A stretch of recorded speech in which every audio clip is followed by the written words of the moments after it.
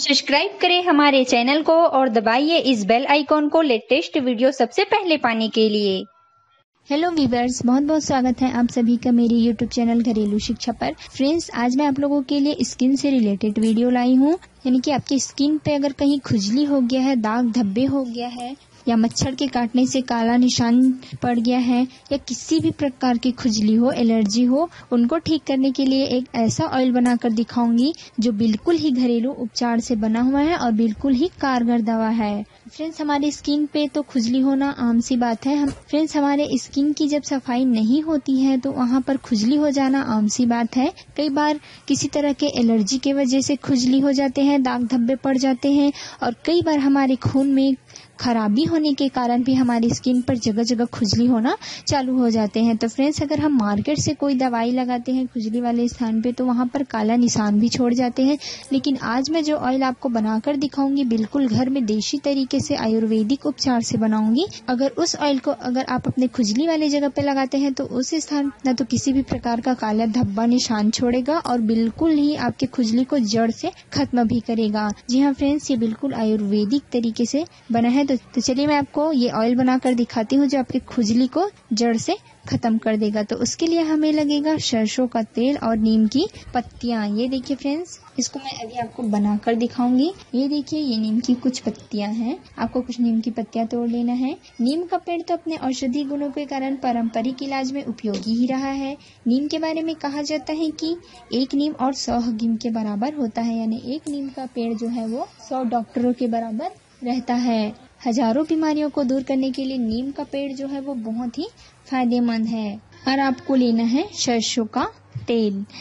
फिर इसे हमें अच्छे से उबाल लेना है फ्रेंड्स इस तरीके से आप तेल गरम कर लीजिए। तेल जब थोड़ा सा हल्का शकुनकुना हो जाए तो उसमें आपके नीम की पत्तियों को तोड़कर डाल लेना है इस तरीके से। फिर आप नीम की पत्तियों को धीमी आँच में अच्छे से इसमें पकाएँ। आपको आँच को ज़्यादा नहीं करना है, नहीं तो नीम की पत्तियाँ तुरंत जल जाएगी और इसका जो रस है वो तेल में अच्छे से शामिल नहीं हो पाएगा। तो आप उसके लिए धीमी आँच में नीम की पत्तियों को सरसों के तेल में अच्छे से पकाएँ। इस तरीके से आपकी जो नीम की पत्तियाँ हैं वो करीबन तीन से चार मिनट में अच्छे से पक जाएगी।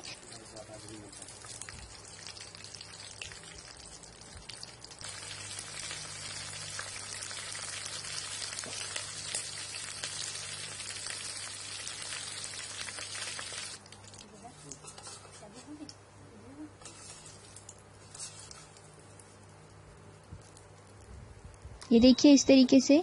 नीम की पत्तियाँ जब काली पड़ जाए तो आप इनको छान लीजिए। इस तरीके से ये देखिए फ्रेंड्स ये ऑयल जो है वो केवल दो से तीन मिनट में आपका बनकर रेडी हो जाएगा। ज़्यादा कुछ करने की ज़रूरत नहीं है। ये बिल्कुल घरेलू और बिल्कुल सर्दिया इलाज है आपके खुजली के लिए। फिर आपके हाथ पैर में जहाँ पर भी खुजली है, वहाँ पर आप इस ऑयल को अच्छे से एक से दो मिनट तक मालिश करें। इस ऑयल को आप रोज़ाना नहाने के बाद ज़रूर लगाएँ। इससे आपके शरीर में जहाँ भी खुजली की समस्या है, वो जड़ से खत्म हो जाएगी। नहाने के बाद आप इस ऑयल को रोज लगाएँ, इससे आपके शरीर में कोई साइड इफ़ेक्ट नहीं होगा। और जहाँ भी आपके दाद एवं खुजली है, वो बिल्कुल ही ठीक हो जाएगा। फ्रेंड्स इसका बहुत सारे लाभ हैं। जैसे कि अगर आपको कहीं मच्छर काट जाती है और वहाँ पर खुजली होने के बाद लाल निशान चपटे पड़ जाते हैं, वो भी इससे बिल्कुल ही ठीक हो जाएगा। एक बात और कहना चाहूँगी फ्रेंड्स, अगर आपको खुजली की बीमारी काफ़ी दिनों से हो रही है तो आप 40 से 50 हरी नीम की पत्तियों को थोड़े गर्म पानी में दो मिनट तक बॉईल कर ले, यानी इसको गर्म कर ले और उसे नहाने वाले पानी में मिला दे। अब इस पानी से स्नान करें। इस प्रकार करने से कम से कम एक सप्ताह एक सप्ताह तक इसी तरीके से नहाएँ। तो नीम की पत्तियों को अब एक सप्ताह इस्तेमाल में लाए और अंतर देखिए आपको ज़रूर खुजली में आराम मिलेगा। और अगर आपके शरीर में कहीं पास भी एलर्जी है तो उससे भी तो वो भी इस तरीके से नहाने से, नीम की पत्तियों से नहाने से आपके जो एलर्जी की समस्या है, वो भी दूर हो जाएगी। तो फ्रेंड्स ये रहा आज का मेरा वीडियो अगर आपको मेरा वीडियो पसंद आया हो तो प्लीज़ मेरे वीडियो को लाइक करें शेयर करें और इसी तरीके के यूजफुल वीडियोस देखने के लिए मेरे चैनल घरेलू शिक्षा को सब्सक्राइब करें और साथ में जो बेल आइकॉन का बटन दिया उसको ज़रूर प्रेस करें ताकि मैं जब भी कोई नया वीडियो अपलोड करूँ, उसका नोटिफिकेशन आप तक सबसे पहले पहुँच जाए. मिलते हैं अगले वीडियो में फ्रेंड्स तब तक के लिए नमस्कार.